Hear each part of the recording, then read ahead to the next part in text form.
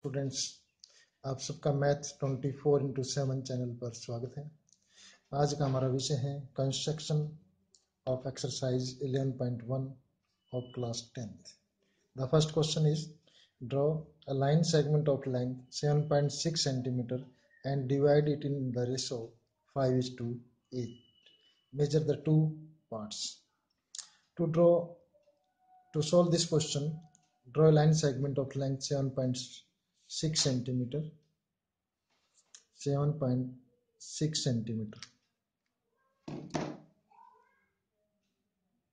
Here it is 7.6 and the name of this line is AB A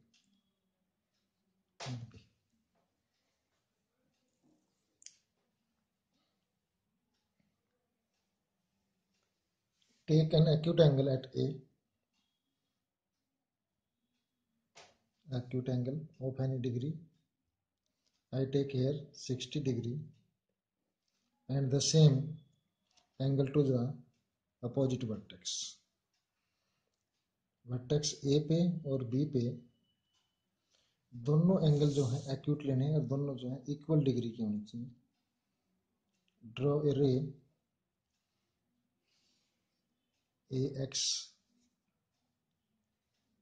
x and by at a and b. Both of ray will be parallel to each other. Cut locate five equal parts.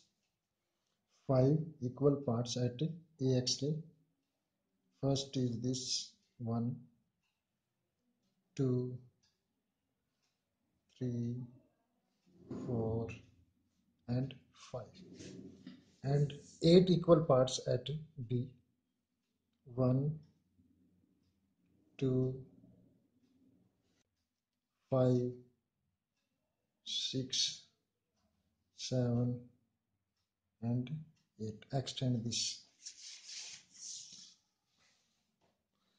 Extend it to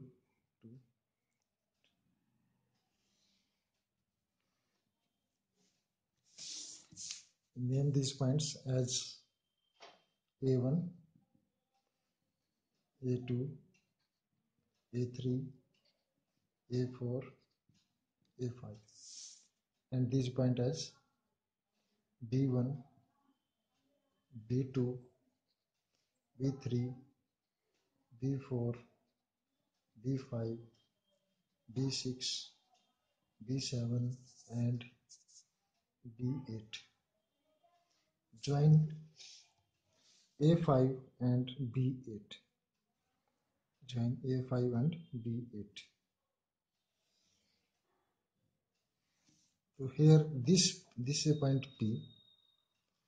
The point P which divide the length segment AB in the ratio 5 is to 7 5 is to 8 so measurement of first part is approximate 2.9 and the measurement of second part is 4.7 AP is 2.9 centimeter and PB equal to 4.7 centimeter. Both are approximate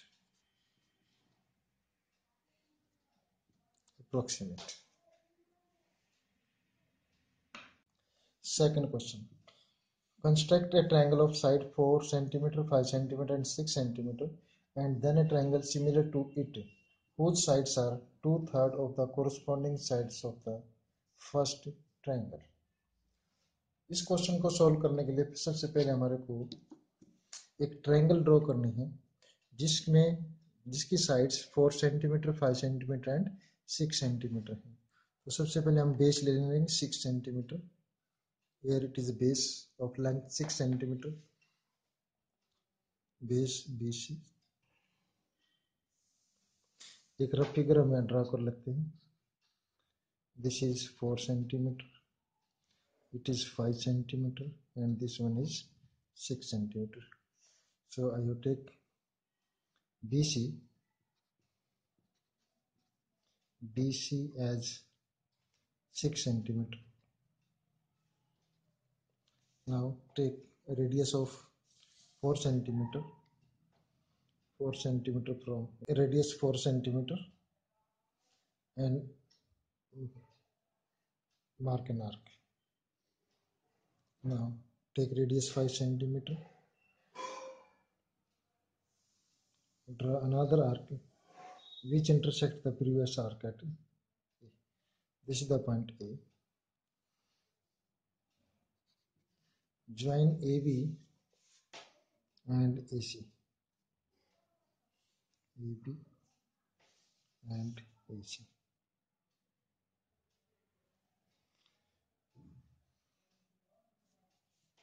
अब हमने एक ऐसी triangle draw करनी है जो इसका two third है two third है इस क्वेश्चन में जित, जो भी डिनोमिनेटर है, हमने उतने डिनोमिनेटर के पार्ट्स एक एक्यूट एंगल ले लेंगे नीचे। ड्रॉ एक्यूट एंगल और उस पर उतने ही इक्वल पार्ट्स हमने ले लेंगे थ्री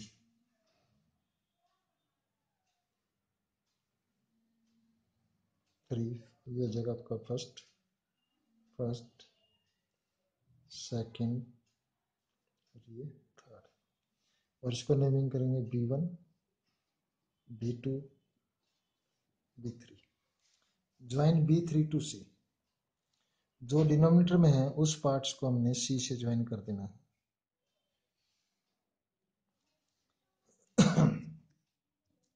डिनोमिनेटर में टू है?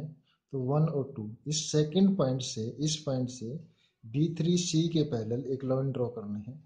तो इसको ड्रॉ करने के लिए पहले हम क्या करेंगे? यहाँ पर एक एक्यूट एंगल इस एंगल को मेजर करेंगे। और फिर ये इसकी दोबारा से इसकी रेडियस जो है मेजर करेंगे।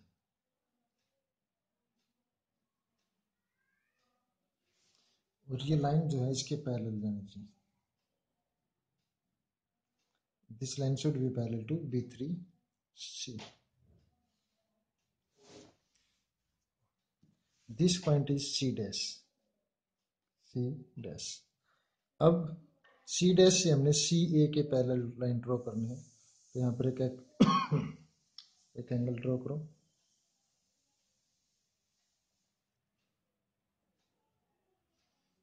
यहाँ से ये पॉइंट कट किया नहीं पॉइंट यहाँ पे ये आर्क लगा ये लाइन भी इसके पैरेलल होनी चाहिए। This line should be parallel to C A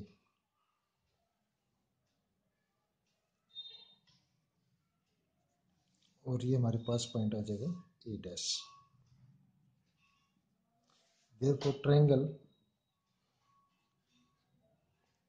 A dash B C dash similar to triangle A, B, C. Such that A dash B upon AB is equal to 2 upon